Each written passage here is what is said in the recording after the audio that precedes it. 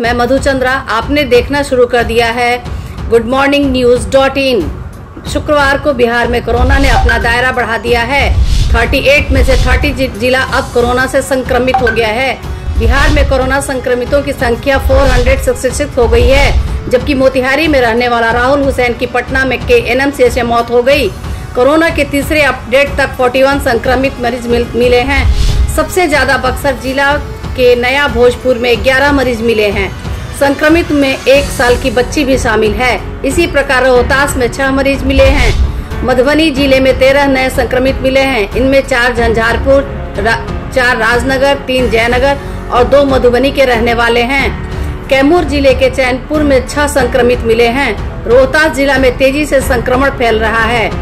Katihar corona प्रभावित तीसवा जिला बन गया है। कुरसेला की 15 साल की लड़की और रतनपुर की 31 साल की महिला की रिपोर्ट पॉजिटिव आई है। नालंदा और भोजपुर ज़िले में भी एक एक संक्रमित मिले हैं।